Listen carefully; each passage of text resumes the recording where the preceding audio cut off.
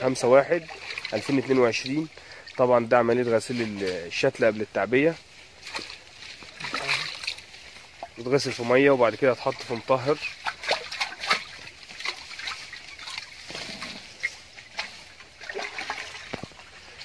وهنا طريقة التعبية.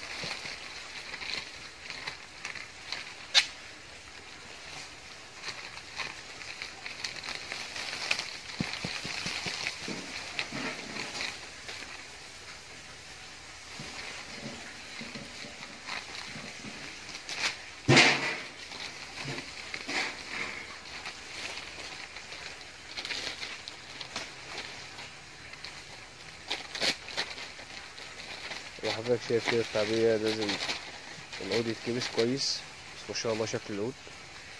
حتى العود التاني برضه هو اللي هيتعبى.